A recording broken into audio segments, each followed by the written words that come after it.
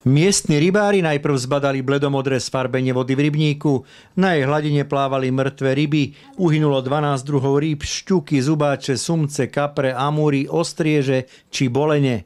Rybári zalarmovali políciu, inšpekciu životného prostredia a veterinárov súvislosti s hromadným úhynom rýb v lovnom rybníku vo vsi Hrče od Trebišovskom okrese už policia koná. Na ploche 2,5 hektára hospodária už niekoľko rokov, no také niečo tu ešte nezažili. Verzia, že by boli ryby uhynuli dôsledkom vysokých horúčav a nedostatkom kyslíka vo vode, je pre nich málo pravdepodobná. Podľa prvých rozborov vody boli amoniakálne hodnoty v norme. Poverený príslušník obvodného oddelenia policajného zboru v Šalenoch začal trestné stíhanie pre prečin poškodovania cudzej veci. Polícia zistuje, za akých okolností došlo uhynu a vykonáva potrebné vyšetrovacie úkony.